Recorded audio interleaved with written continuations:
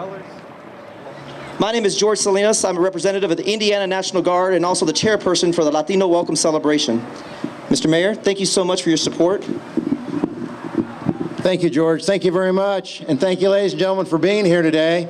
As the mayor of the city, I'd also like to express my gratitude for all of the organizations uh, that are making this possible today and all the vendors that you see out here. And make sure while you're here that you go around and visit each and every one of them. They're all very much uh, engaged in our community and they want to make a real difference. And you can help by going up and uh, visiting and having a little time with them to speak about uh, matters that might be of concern to you. I'm very proud today as uh, being here. First, I want to acknowledge, I see our Senator Tim Lanane. Tim, you want to stand up for a second? Tim Lanane.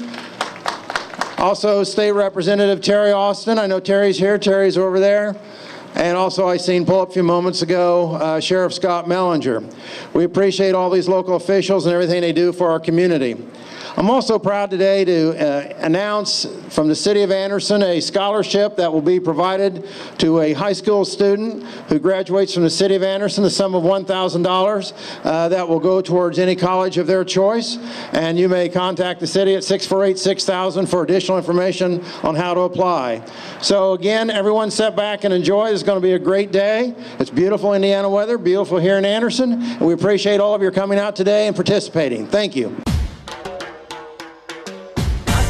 Poquito a poco, házmelo muy suavemente,